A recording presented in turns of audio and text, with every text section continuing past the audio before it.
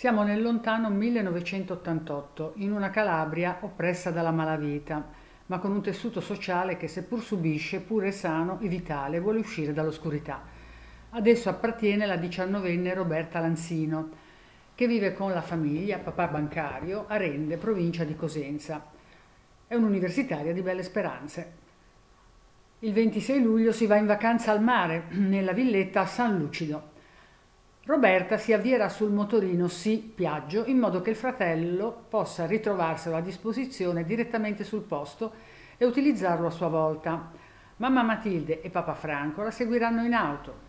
Il gruppetto intende percorrere una strada che scavalla le colline anziché la statale, pericolosa per un motociclo. Come Matilde racconterà, straziata dal rammarico e i sensi di colpa, lei e il marito, invece di tallonare la figlia, si attardano in acquisti dal fruttivendolo e ad approvvigionarsi di acqua a una fonte, perdendo di vista lo scooter. Quando una volta arrivati i due constatano che la ragazza non è lì e non li raggiunge, partono le ricerche. Nel cuore della notte prima viene ritrovato il sì, integro, non in avaria, ma nascosto in una scarpata. A breve, tra la vegetazione, si scorgerà anche il corpo della giovinetta, spogliata dalla vita in giù, ha subito uno stupro ed è stata uccisa a fendenti. Un'ecchimosi sullo zigomo e ficcate in gola due spalline intrise di sangue. A quel punto Franco presidia il piccolo slargo che immette nel dirupo finché i rilievi saranno conclusi. Si suppone che Roberta si sia persa, circostanza ritenuta probabile su quella stradiciola tutta curve e deviazioni. Infatti c'è chi si ricorda di lei mentre vaga chiedendo lumi sul tragitto già verso Torremezzo, oltre il bivio che avrebbe dovuto imboccare. E qualcuno dirà di aver notato una Fiat 131 che pareva tallonarla, auto che verrà poi ritrovata in abbandono e legata ad uno dei sospettati successivi. Sotto lente finiscono tre uomini imparentati. Giuseppe Frangella, che dichiara di aver parlato brevemente con Roberta in cerca della strada, e i fratelli, suoi cugini, Luigi e Rosario Frangella. Il primo perché accenna a particolari che non dovrebbe conoscere, e giustificherà la gaff asserendo di aver dato una mano a tirar su il ciclomotore. Ma papà Franco, immobile per ore in loco dal rinvenimento del mezzo e di sua figlia, lo smentirà. Luigi e Rosario, in quanto messi a mezzo da Giuseppe, il quale, forse per scrollarsi di dosso le prevedibili accuse, li descriverà mentre si rincorrono nei pressi della scena del crimine mentre il primo urla al secondo, che soffriva di un disagio psichico, che cosa hai fatto? Si aprirà un processo al terzetto dopo questa tarantella di accuse. Tutto terminerà con una soluzione.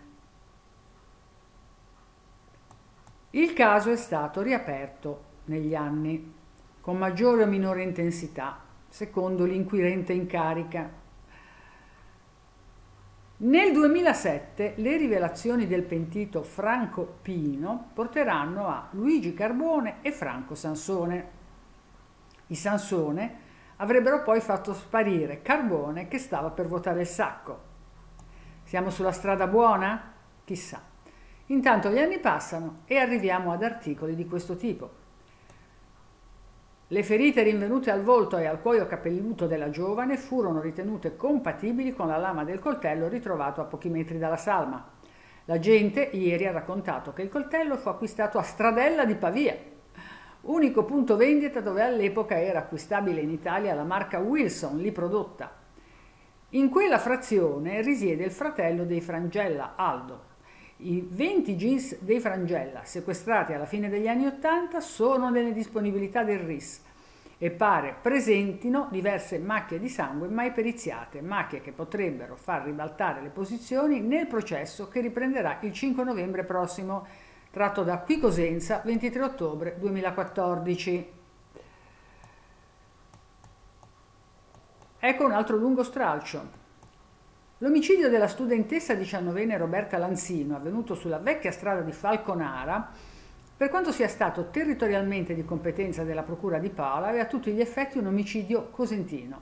Di conseguenza ricade sotto la diretta responsabilità di quei magistrati corrotti del Porto delle Nebbie, il Tribunale di Cosenza per chi è nuovo, che non fecero nulla per arrivare alla verità, neanche dopo aver ricevuto un esposto anonimo con i nomi degli assassini. L'unico atto frutto della mente perversa e diabolica dell'attuale procuratore Mario Spagnuolos, alias il Gatto Pardo, allora 34enne sostituto procuratore, è stato quello di coinvolgere in questa vicenda la sua creatura, ovvero il pentito Franco Pino, che ormai da più di un decennio prende in giro tutti raccontando versioni allucinanti sull'omicidio di Roberta che sono state progressivamente e miseramente smontate pezzo per pezzo, tratto da Iacchite, blog 26 luglio 2020.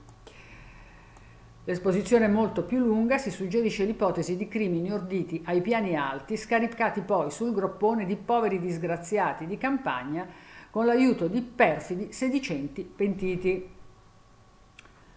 Lasciamo questa cartellinaria alla responsabilità di chi l'ha redatta, notando che più oltre in essa si fa il nome di un valente magistrato, Eugenio Facciolla, che si occupava anche delle indagini sull'omicidio del calciatore del Cosenza Denis Bergamini, poi trasferito ad altro incarico. I filmati attuali ci mostrano luoghi molto cambiati. Ci pare che in pieno giorno, in pieno sole, un simile massacro avrebbe dovuto essere notato più che dalla strada, da basso, perché il costone è esposto e sotto c'è una spiaggia. Roberta avrà urlato, gli assassini si saranno pur stravolti. Oppure tutto si è svolto in un casolare, poi il corpo è stato scaricato in quel recesso per farlo trovare? Ma chi poteva immaginare di beccare una ragazza sola e rimasta senza protezione per un errore di marcia? Fu dunque una casualità favorevole agli assassini. Chi avrebbe rischiato di trascinarla, lei con tutto il motorino, quando i piani prevedevano che i genitori sbucassero da una curva da un momento all'altro? E anche altre automobili naturalmente, perché un po' di passaggio è stato dimostrato. Oppure si tratta di predatori momentanei, sempre in cerca di esperienze di mattanze? Oppure di esecutori di ordini dall'alto, procuratori di fanciulle per turpi sollazzi? Forse la giovane aveva visto qualcosa che non doveva, come si suppone sempre o si supponeva in quelle zone? Matilde e Franco hanno creato la fondazione Roberta Lanzino, di cui si trovano notizie in rete, e c'è una via a lei intitolata alla Mezzia Terme. Lo stesso posto dove andò incontro a un fine la cantante Graziella Franchini in arte Lolita nel 1986, su cui ho fatto un video. Vedete quanti casi ci sarebbero ancora da trattare? Scusate, è scivolata la telecamera, ma tanto ormai mi conoscete. Ciao.